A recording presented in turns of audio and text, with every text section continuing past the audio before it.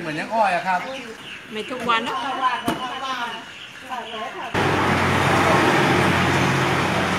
เหตุที่ผมไปไหว้จุดทูบไหว้ป้ายตัวเองไอ้วันนั้นคือเป็นเป็นป้ายแรกที่ผมติด เราอยู่มันในบริเวณเมืองหลวงของสุโขทัยฮะก็เลยต้องเข้าไปขอขมาเจ้าที่เจ้าทางในบริเวณเมืองหลวงครับ ซึ่งเป็นสถานที่ที่ศักดิ์สิทธิ์สถานที่สำคัญมาก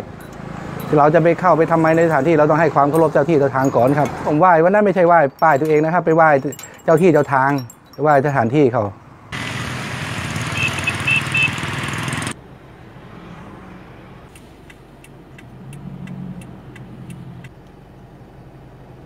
อยากให้มีเลือกตั้งใหม่แบบ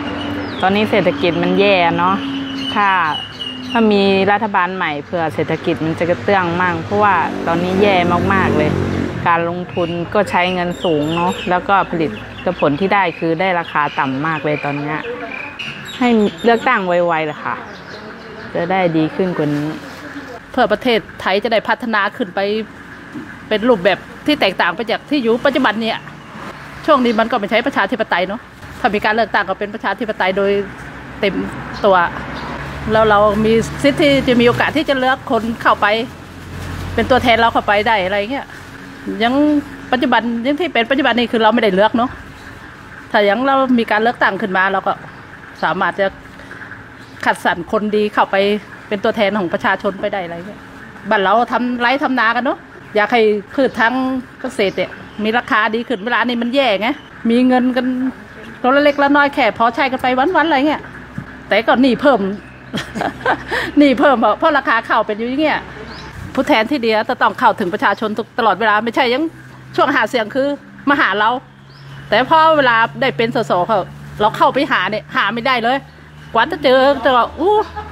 มีธุระติดนั่นติดนี่เราเดือดร้อนไปหาเนาะเราต้องเป็น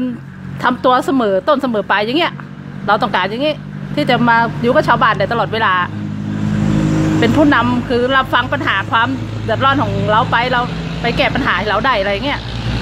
สสที่ดีมันก็ต้องพัฒนาหมู่บ้านเนาะทุกหมู่บ้านทุกตอก ทุกซอก ทุกซอยต้องถามสารทุกข์ถูกดิบของคนในหมู่บ้านว่าเออไม่ใช่จะทำแต่ในบ้านของตัวเอง หมู่บ้านตัวเอง ไม่ใช่จะทำอย่างนั้นไม่ใช่เลือกไงที่ผ่านๆมารู้สึกจะเลือกกันที่แบบว่าทำของเป็นของตัวเองอะ่ะหมู่อื่นตำบลอื่นเป็นยังไงก็ไม่ได้สนใจคือเลือกกันไปแล้วอะ่ะ ก็จะให้นั่นให้นี่เนาะ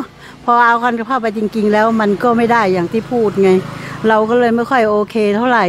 แต่ถ้าเกิดยุคนี้สมัยนี้ถ้าเกิดเป็นที่ดีได้นะ เราก็โอเคน่ะ